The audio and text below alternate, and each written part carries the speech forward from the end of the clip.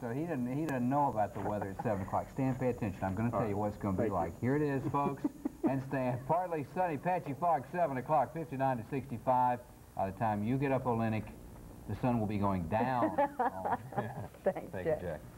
Well, this year marks the 100th anniversary of the founding of the United Way, and some artists from the Spartanburg Artists Guild have joined in the celebration. About 37 of those artists contributed original interpretations of what the United Way means to the community.